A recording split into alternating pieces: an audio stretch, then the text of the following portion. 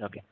So when you're talking about like, uh, uh, there is like, uh, if you see this, whenever we are creating any labs over the virtual servers, you see this partition?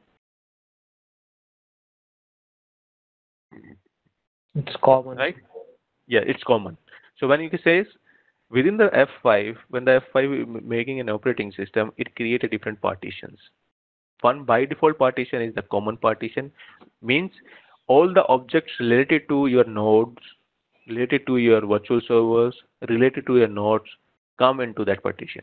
Partition is just like a when you say within within a Windows operating system, you say C D within the C you are creating a different partition like C D E and all stuff, right?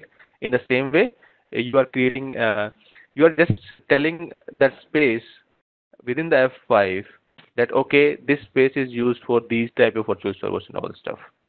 Okay. Okay. Got it. So in this. Uh, now sometimes the scenarios comes into the pictures like uh, uh, within the same F5, one of the other customer, like you are hosting a multiple customers, right? Let's say there are two customers, and let's take an example of, uh, let's say there is two there are two customers, and they are publishing their two virtual servers. But my requirement is, or from the administrative perspective, you both customer ask you that I need an access to your web big IP to add some stuff or to delete some stuff related to their virtual servers. Right? Got my point? Yes. So in that case, if you are using a common partition and then giving a two user access to the common partition, it means they have access to this virtual servers and this virtual server. Right? So to separate that role, you need to create a different different partition and then assign the user to that partition so that it, he can look for that partition only, cannot look for the other partition. Okay. Got it? Yes. But in this F5, by default the partition is common, that is viewable to all customers, but you can say that it is a like read-only permission and all stuff, but it is viewable. But if any partition that is creating for different user by created by the different administrator different user cannot be seen by other. So okay. the common partition because it is required to function so you uh, to F5 but you can create a multiple partition based on the multiple partition you can, say that multiple customer uh, administrator can use their own partitions. When it says use their own partition it means you can define the pools separately uh, using the different IPs that cannot be visible to the different uh, administrator based on the roles that you have specifying. Okay, so you can use uh, partition in that type of scenarios. Okay. Okay. So if you see this, uh, it, now let's say it is showing an example with the partition of the app one, and app one is related to say, let's say customer one. Okay. Okay, and the partition two is for app two. Let's say it's related to customer two, right? Okay. So if you see this, so we have created a virtual servers within that partition, profiles and all stuff. Okay. Same way it has created their own profile and partition all stuff, mm -hmm. right? You can you can if you if you are creating any partition in a profile here, you can use it here because common partition can be used by any partition, but anything that you are doing here will not be used here. Okay? Or uh, here. Uh, okay. I mean the partition common. So you said that any anything that is created in the uh, common, common partition. partition can be used by the different partitions. Okay. Yes, but anything that is created within that partition cannot be used by other partition. Uh, within the partition means? Within the partition means, let's say this is my whole F5 box, right? And this is having common partition. Okay. Okay. So you have created object here. Okay. okay. Now we have part we have created two more partition within that F5 box one is less a one is less b right so common partition object can be used in this and can be used in this but okay. any object that you are creating here cannot be used in this okay okay okay, okay. got it yes so it is like separating the roles uh, for, or you can say that separating uh, different objects for the different partitions so that you can assign a different customer uh, that okay they can uh, they have the control of this partition only Okay. Second, you have to create. Uh, you are creating a different customer. They have the control of their own partition. He cannot do any changes on the, their other other customer partitions. So you can segregate that behavior, right? Okay. so it is like this one. So you can create this one. Partition access is one partition. All partition access.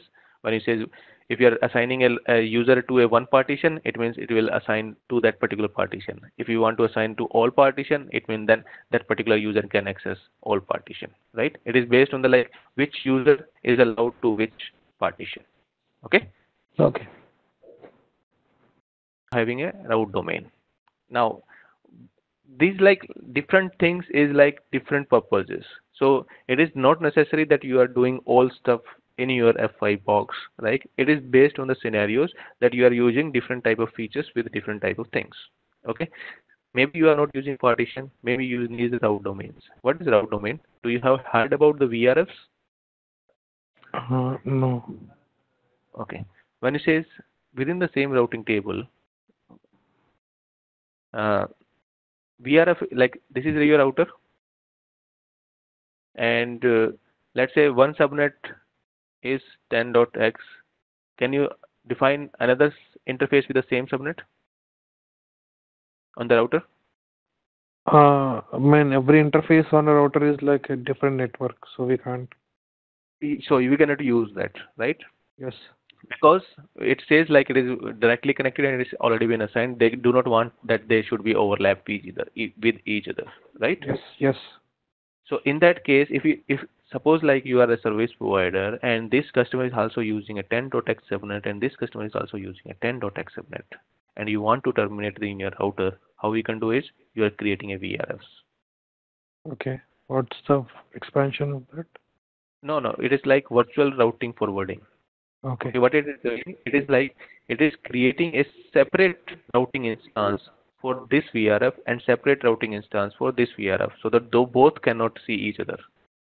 Okay. until unless you are not doing any kind of routing leak in between. But you can assume that when you are creating a virtual routing table, it means for that particular VRF, if you are assigning any interfaces to that particular VRF, it means that is only being seen on uh, on that particular interface. Suppose like this this is my router and having 10 interfaces. So what I can say, I can assign these two VRF, these two interface in the VRF A and these two VRF uh, these two interface in the VRF-B. So any routing between these cannot be seen on this, right? Got it? So you can use overlapping subnets within the same router, right? This is Okay. possible using virtual routing forwarding.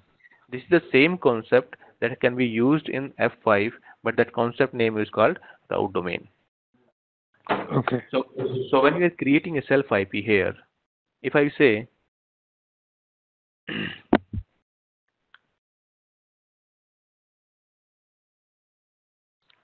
I have created this IP, self IP. Okay.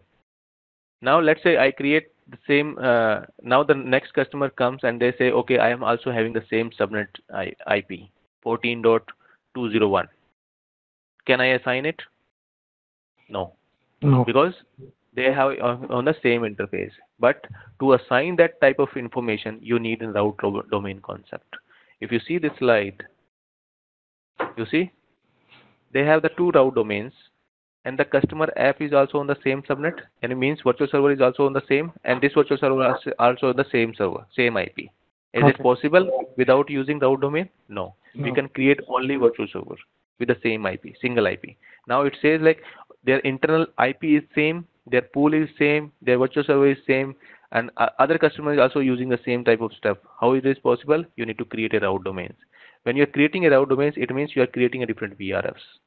Okay, got it? So when you say VRF, it is means separating the routing instance of uh, two different customers. So right, they can within the use same all the resources, All the resources means. Uh, like uh, when if a yeah, I mean virtual IP is generated. So Mhm. this is this one. I mean this uh, uh, particular app A and particular app B. They are separated using the route domains. They have all the uh, I mean what we call the IP and stuff and the same, right? Yes, you have to create all the stuff separately for this to and create separately for this one. So there is a notation. Uh, I will show you in the how you are creating this stuff to separate between the these two route domains, right? Okay.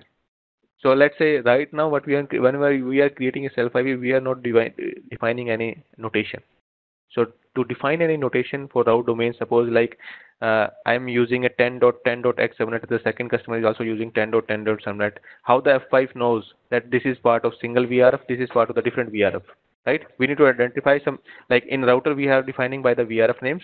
In F5 we have to define by its route domains notation. Okay. okay. So if, if you says, okay, I'm assigning a self IP 192.168.1.10. It is my self IP. If you put this as a 1, it means it is goes to the route domain 1 if you do the same ip percentage 1 2 it means it has a it is this particular ip goes to this routing domain. So they do not see each other now right? So they are on the two different vrfs okay? And they have the two different routing tables. Got my point? Yes.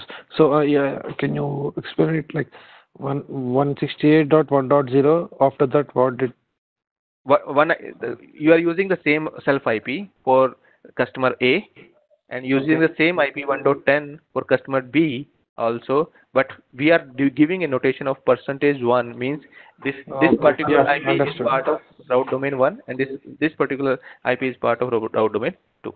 Okay. Got it? Now, yes. if you are taking an example of this, like uh, this is says like if you are using this IP it could be virtual server IP, it could be a self IP, but if you're putting a notation here, it means it is part of route domain 2. Okay. So, so do not confuse uh, with uh, uh, I'm not sure whether you have IP6 uh, concept or not. In IP6, there is a percentage tells about uh, 000 stuff. So you just ignore that part right now. Okay. okay. So when I was saying, like, if you need to segregate same subnet or you, you can say the route domains are used when you have the overlapping subnets uh, for defining the pools and self IP. Okay. Okay. So